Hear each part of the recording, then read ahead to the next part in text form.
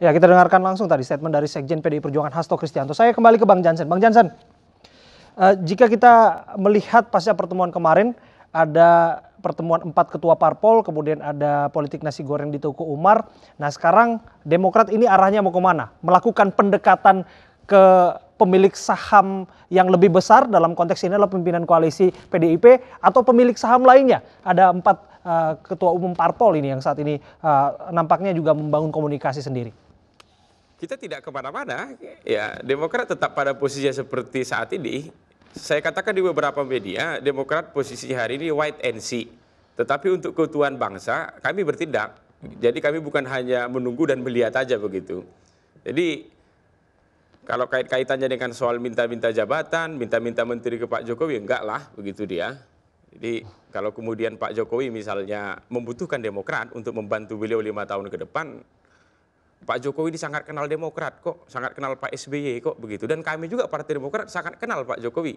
Itu dia. Jadi dan karakternya Partai Demokrat juga Pak Jokowi sangat kenal. Jadi hmm. kalau kami sudah memilih untuk masuk misalnya, kami akan berkontribusi pastinya. Hmm. Itu. Yang kedua saya ingin menyampaikan begini, simbol rekonsiliasi itu kan Pak Jokowi.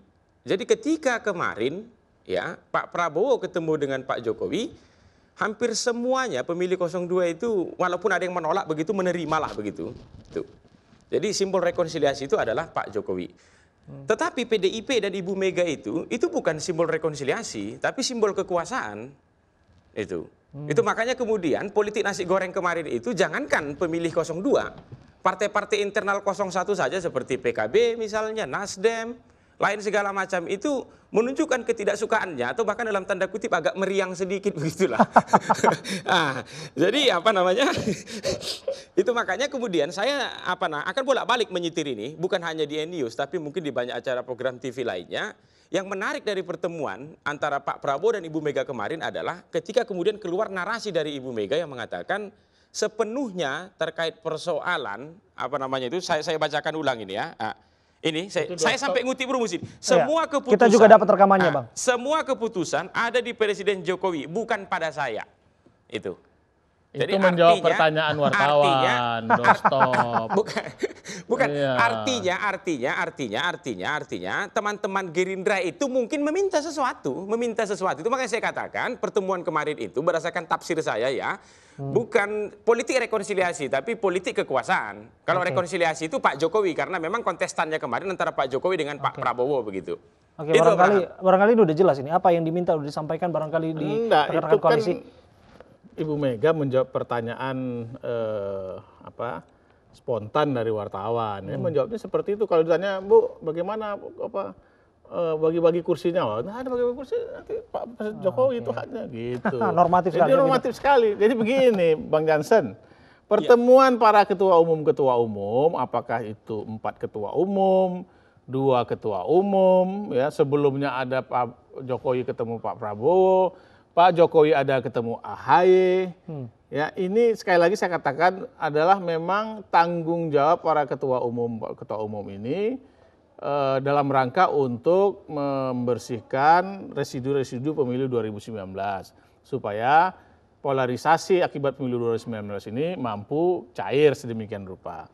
Dan saya yakin ke depan minggu-minggu ke depan ini akan ada lagi ketemu ketua umum ketua umum gitu ya.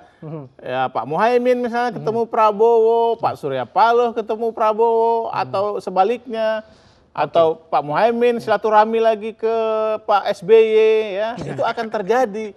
Karena ini menjadi tanggung jawab para ketua umum ketua umum yang hmm. semuanya ini saya anggap sebagai negarawan-negarawan pimpinan-pimpinan bangsa Indonesia ini yang memang punya kesadaran yang dalam soal pentingnya semangat persatuan itu. Baik. Itu menurut saya ya. Baik. Jadi jika Jangan underestimate dong kepada para ketua umum ketua umum ini ya.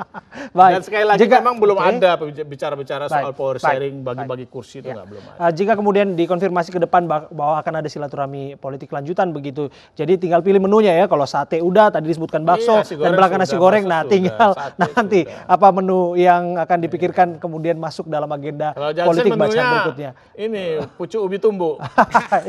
Baik, kita bisa makan sama-sama nanti setelah show ini. Terima kasih. Bang Jansen, terima kasih Bang Lukman Endi sudah berbincang bersama kami di studio.